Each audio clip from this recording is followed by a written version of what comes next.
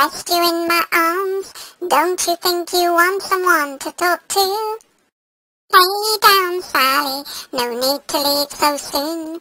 I've been trying all night long just to talk to you. Been trying all night long just to talk to you. I know, oh, for goodness sake, Sally, happy birthday, enjoy your day. Sorry I can't sing, it's, it's a problem I have. I did my best, Sally.